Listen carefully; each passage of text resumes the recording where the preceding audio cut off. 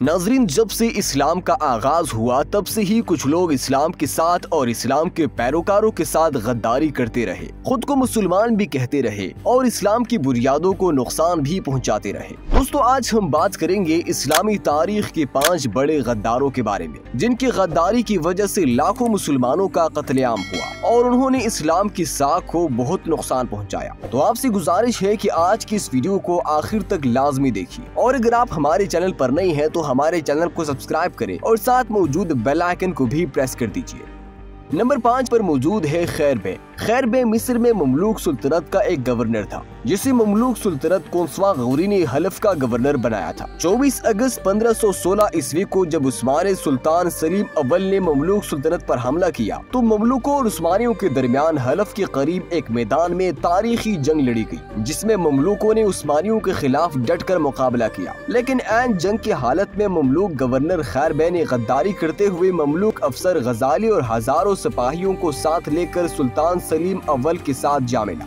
जिसके बाद ममलूकों ने पसपाई शुरू कर दी और इसी पसपाई के दौरान ही ममलूक सुल्तान कांसवा गौरी शहीद हो गए। फतेह के बाद जब नायब सुल्तान तमान बे को गिरफ़्तार करके सुल्तान सलीम के सामने लाए गए तो सुल्तान सलीम ने ममलूक सुल्तान से निहायत इज़्ज़त और एहतराम का सलूक किया। लेकिन गद्दार खैर बे ने उस्मान सुल्तान के कान भरने शुरू कर दिए कि तमान बे बगावत के लिए फौज जमा कर रहा है, जिसके बाद 17 अप्रैल 1517 ईस्वी को आखिरी ममलूक सुल्तान को शहीद कर दिया गया। Number four Mir Jafar. Mir Jafar नवाब सिराजुद्दीन दौला की फौज का एक सरदार था, जो बाद में तरक्की करता हुआ सपसलार के अहदे तक जा पहुँचा। बंगाल पर कब्जे के लिए अंग्रेज़ों को मीर जाफ़र जैसे गद्दार की तलाश थी। जो चंद सिक्कों के इवज अंग्रेज़ों को कीमती मालूम फराहम करता था। पहले तो उसने अंग्रेज़ों का बंगाल पर हमले को आसान बनाया और जब अंग्रेज़ फौज बंगाल पर हमलावर हुई तो मीर जाफ़र ने बड़ी ही ईमानदारी के साथ वो तमाम मालूम अंग्रेज़ों तक पहुँचा दी, जिन पर अमल करते हुए जल्द बंगाल पर अंग्रेज़ों का कब्जा हो गया। उस दौरान मीर जाफ़र अपने दोस्तों के साथ अंग्रेज़ फौज के साथ जा मिला। अंग्रेज़ों ने मीर जाफ़र को उसकी वफादारी की इवज सत्रह सौ सतावन ईस्वी में उसे बंगाल का नवाब मुकर कर दिया। Number three, Mohammad Ali Pasha. Mohammad Ali Pasha उस्मानी सुल्तान की तरफ़ से मिस्र का वाली था।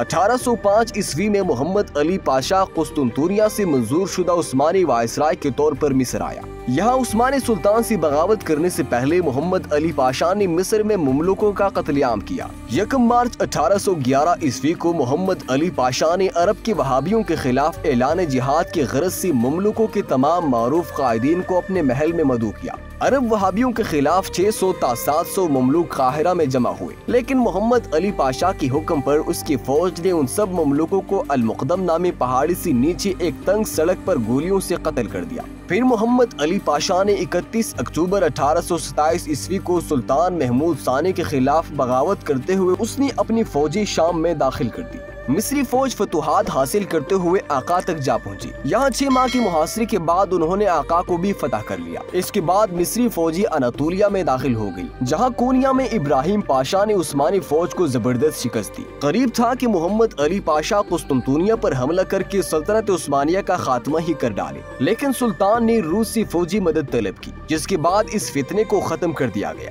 Number two, Mir Sadiq. Mir Sadiq भी मीर जाफ़र की तरह एक गद्दार मुसलमान वज़ीर था। मीर सादिक टीपू सुल्तान के वालिद हैदर अली का खास आदमी था। लेकिन जब टीपू सुल्तान तख्त नशीर हुए तो उन्होंने मीर सादिक को वज़ीर के अहदे पर फायज कर दिया। लेकिन टीपू सुल्तान नहीं जानते थे कि जिस शख्स को वो इतने बड़े अहदे पर फायज कर रही हैं वही उनकी मौत और सुल्तनत के खात्मे का सबब बनेगा। जिस वक्त हुकूमत टीपू सुल्तान को मिली, उस वक्त अंग्रेज़ हिंदुस्तान पर अपने कदम जमाने की कोशिश में थे और इस दौरान अंग्रेज़ों की मदद निज़ाम ऑफ़ हैदराबाद और मरखटे कर रहे थे। टीपू के वालिद हैदरली ने बजूर ताकत पचास साल तक अंग्रेज़ों को जनूबी हिंदुस्तान में पे दर पे शिकस्त दे दी। खुद टीपू सुल्तान ने भी अंग्रेज़ों के खिलाफ पहली, दूसरी और तीसरी जंग लड़ी। तीसरी मैसूर जंग में टीपू सुल्तान को बुरी तरह से शिकस्त हुई और अंग्रेज़ों के साथ मुआहदे के तौर पर उन्हें अपने बेटे यरगमाल के तौर पर अंग्रेज़ जनरल लॉर्ड कार्नवाल्स के पास भेजने पड़े।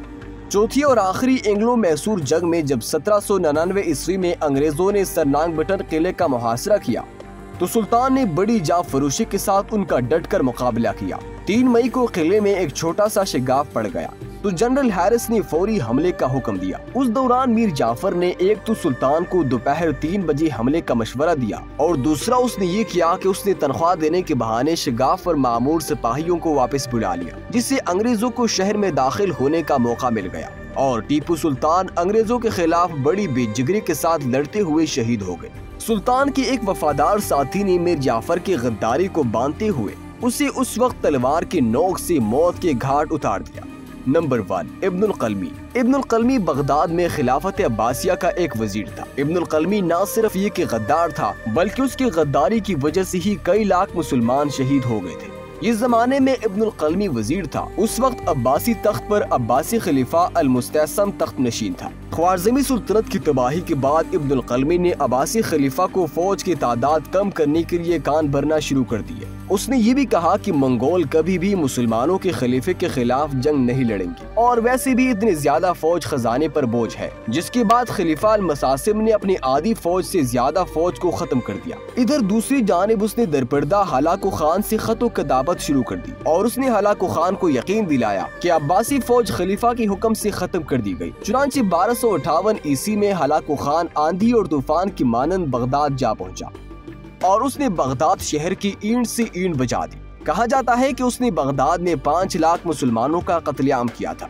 और इनमें से सिर्फ़ यहूदियों और ईसाइयों को ही ज़िंदा रहने दिया गया। फतह के बाद हलाकू खान ने आखिरी अब्बासी खलीफा अल मुस्तम को कालीन में लपेट कर घोड़ों के समों से हलाक कर दिया। जी तो दोस्तों, आज की वीडियो बस यही तक थी। उम्मीद करते हैं कि आपको आज की ये वीडियो पसंद आई होगी। अगर आपको वीडियो पसंद आई है तो वीडियो को लाइक करिए और शेयर करना ना भूले। मिलती है नेक्स्ट वीडियो में एक और टॉपिक के साथ। तब तक अपना ख्याल रखिए। अल्लाह निगहबान